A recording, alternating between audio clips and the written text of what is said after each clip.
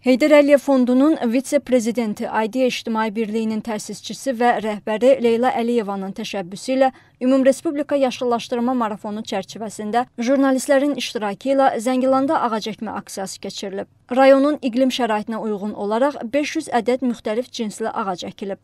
Palıd, şərq çinarı və tut ağacının toxumları əraziyə səpilib. Respublikamızda yaşıl marafon devizi altında möhtəşəm tədbir keçirilir. Tədbirlərdə Bilirsiz, Aidiyə İctimai Təşkilatının və Ekologiya Təbii Sərvətlər Nazirinin birgə təşkilatçılığı ilə qarşıya götürü hədəf qoyulub ki, il ərzində 1 milyon ağac əkiləcək. Artıq indi yaz əkim mövsümü bilirsiniz, sona çatmaq üzrədir və bu fürsətdən biz istifadə edib bu torpaqlarda da, bu müqəddəs torpaqlarda da bu tədbiri keçirmək istədik.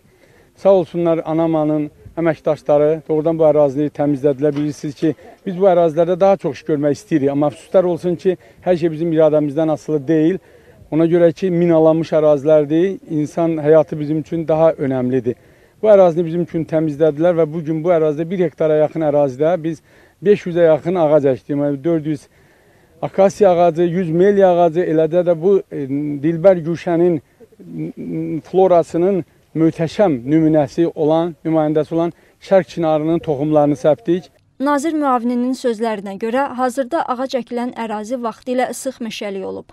Lakin ermənilər 30 ilə yaxın müddətdə bütün yaşıllığı məhv ediblər.